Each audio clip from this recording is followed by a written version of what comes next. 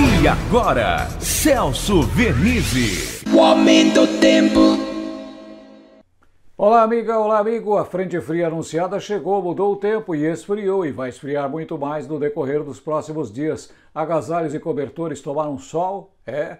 Então, use-os a partir de hoje com maior intensidade, noites e madrugadas frias, úmidas, ventos fortes durante o dia, faixa leste principalmente, pode chover a qualquer momento e forte sobre o litoral Temperaturas 20 a 22 graus no litoral, na capital, no interior do estado 24 a 25 graus aproximadamente. O interior tem períodos de sol, vai chover mais isoladamente à tarde. Agora o litoral e a capital ficam com esse tempo mais encoberto o dia todo e chuva a qualquer momento.